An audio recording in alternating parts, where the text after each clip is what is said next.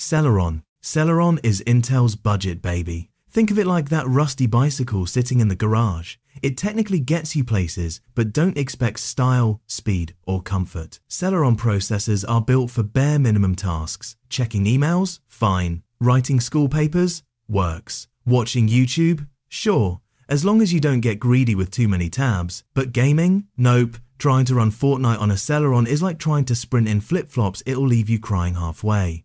That said, Celeron still has a purpose. These chips usually power cheap laptops and school Chromebooks. They're ideal for students typing essays, parents handling online bills, or grandparents posting baby photos on Facebook. Basically, it's your get the job done option, nothing fancy. If money's tight and you just need a computer that won't explode, Celeron is there. Just don't expect fireworks. Pentium. Pentium is a step up, like upgrading from a bike to an electric scooter. Still not a car, but at least you've got a motor now. With Pentium, everyday stuff like Netflix streaming, Zoom calls, and basic multitasking is smoother compared to Celeron. It's like the middle child of Intel's lineup, not the favorite, but not forgotten either. Pentium laptops are cheap, decent, and don't make you feel like you're stuck in 2005. But here's the catch. Pentium can't handle heavy lifting gaming, 4K, video editing, or big software projects will crush it. Asking Pentium to run demanding games is like asking the kid who got picked last in dodgeball to dunk on LeBron James. Spoiler, it's not happening. Still, for casual users, office workers, or students who just need something dependable, Pentium is a solid choice. It won't wow you, but at least it won't make you rage quit your laptop every time you open Chrome. Intel i3. If Pentium was your scooter, Intel i3 is your first car. Not a flashy sports car, more like a Toyota Corolla. Reliable, affordable, and it won't break down if you push it a little. Depending on the generation, i3 processors pack two 4 cores, giving you enough muscle for multitasking, streaming, school projects, and even light gaming. Fortnite, Minecraft, and League of Legends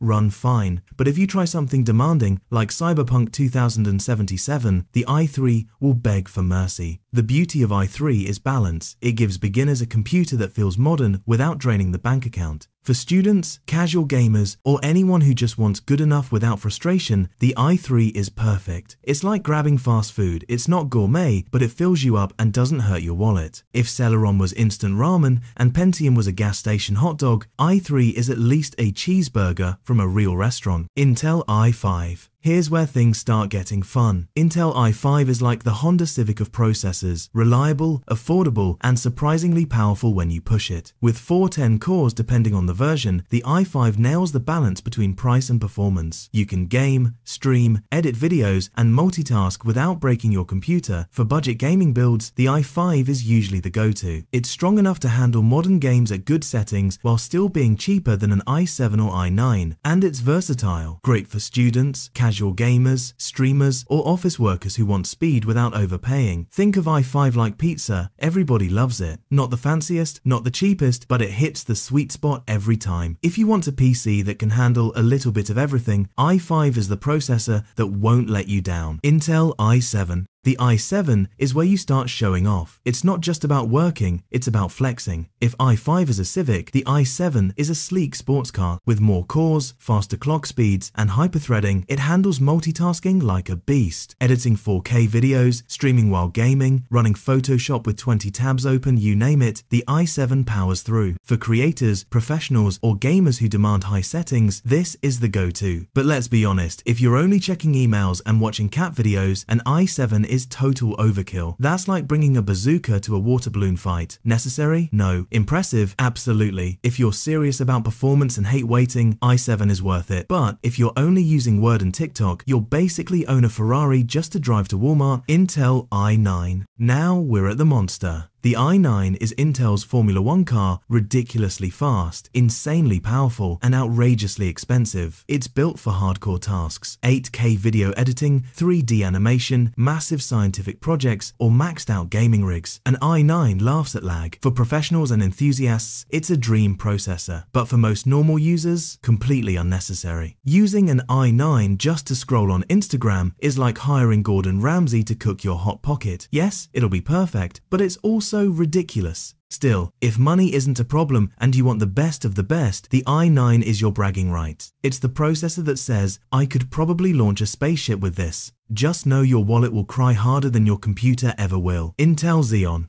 Now for Intel's heavy-duty option, Xeon. This isn't designed for gamers or casual users, it's built for professionals who need non-stop reliability. Think of Xeon as a powerful pickup truck. It's not flashy, but it hauls massive workloads without breaking a sweat. Xeons are used in servers, workstations, and industries where computers run 24-7, doing giant tasks like rendering movies, crunching databases, or running company networks. They're expensive, but tough. For gamers though, Xeon is basically useless. It's like buying a dump truck just to commute to school you'll look powerful, but it makes no sense. Still, for engineers, animators, or anyone who needs reliability over style, Xeon is a lifesaver. It's the chip for people who don't play around they work. Wrap up.